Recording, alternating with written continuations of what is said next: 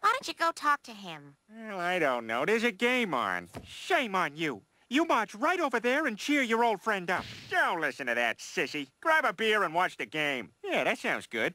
Stop! Oh, my God! Now get your fat ass over to Joe's. Look, buddy, I... I... No! All right, all right, just, all right, just take it easy. Just take it easy, man. Everything's cool.